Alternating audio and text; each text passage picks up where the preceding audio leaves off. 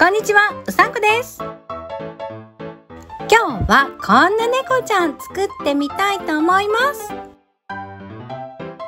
以前作った猫ちゃんは頭と体が分かれています。今回の猫ちゃんは頭と体がつながっています。洗濯バサミ猫の作り方。用意するものはこちら。14センチ ×14 センチの布が2枚。9センチ ×2.5 センチの布が2枚。洗濯バサミと綿です。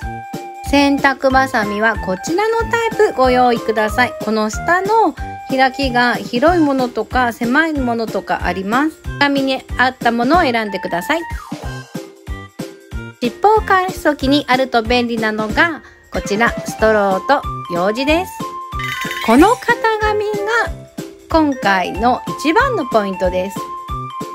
この型紙さえ作ればこの猫ちゃんは簡単に作れます。型紙をダウンロードして印刷してってちょっと面倒ですよね。紙とペンさえあれば自作できるように工夫してみました。まずは13センチ ×13 センチの正方形の紙を用意してください。四つ折りにして後をつけます。折り目をつけた方が作業しやすいかと思います。折った片側にこんな感じの図を描いていきます。片側だけに描いていきます。中心この輪が右側に来るように紙を置いてください。こんな感じで細かく数字が書いてあります。単位はセンチです。猫ちゃんの体のパーツの部分ごとに数字が書いてあります。だいたいこの数字に猫ちゃんのこの体が来るように書いてください。猫ちゃんのシルエットが書けたらこう紙を重ねたまま切ります。切るとこんな感じの型紙ができます。比べてみるとちょっとこのほっぺのあたり膨らませてみたんですけれどもこの切り取ってある型紙で作った猫ちゃんがこちらです。顔がもう少し丸い方がいいかなと思ったのでちょっと膨らませました。この顔のラインはまあお好きなようにアレンジしてください。でこの顔のラインは少し出してこの首元はちょっとだけこうへこませてください。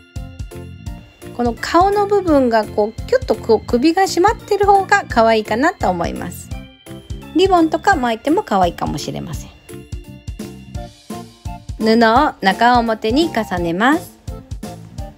型紙を中心に置いて線で猫ちゃんの形を書き写します。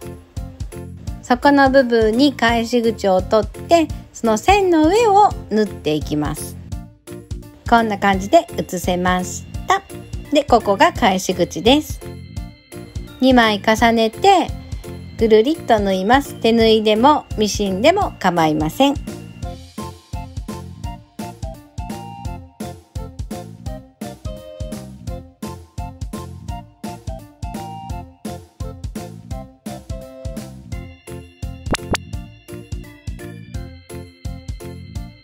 縫えました。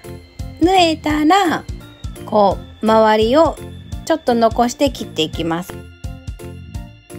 返し口の部分は布を少し多めに残してください。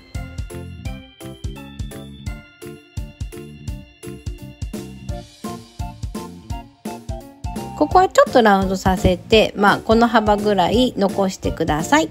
あとの部分は割とギリギリな感じで切ります。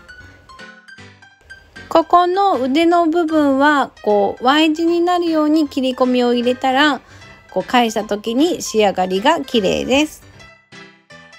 返し口を簡単に後をつけて表に返していきます。折る時はこうもうなんとなくこう線に合わせるような感じ？で全然大丈夫です。表に返すのも全然大変じゃないんですけど腕とか耳とかこうちょっと出すのが面倒かもしれません。耳の部分は割とちゃんと出てた方が可愛いです。こんな感じに表に返せました。こっち側ちょっとなんか変ですけどまあこれでも大丈夫です。尻尾を作っていきます。中表に合わせてこう U 字に縫います。あんまり細い尻尾だとちょっと表に返すのが大変です。縫い代7ミリぐらいがいいかと思います。で表に返していきます。ここでストローが活躍します。ストローを通してこのストローの穴に楊枝のお尻をこう刺すような感じで布をへこませてで表に返していきます。今回ストローが細いんですけど太めのストローの方が作業しやすいです。布の先端が中に入ったらあとは用事でググッと押していけば割と表に返せます。慣れるととっても簡単に表に返せます。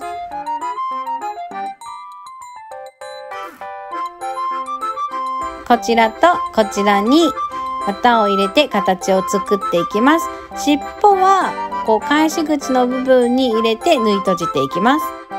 と頭には綿を入れてお腹はあんまり綿入れません。で背中にもこうぷくっとした方が可愛いので綿は割と入れます。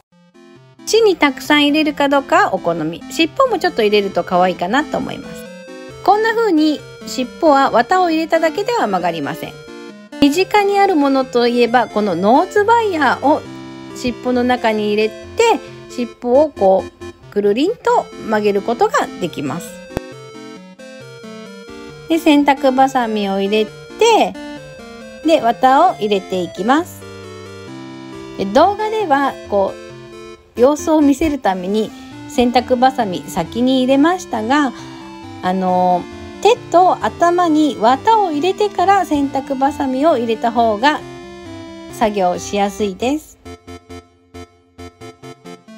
綿を入れないで洗濯バサミだけ入れるとこんな感じになります。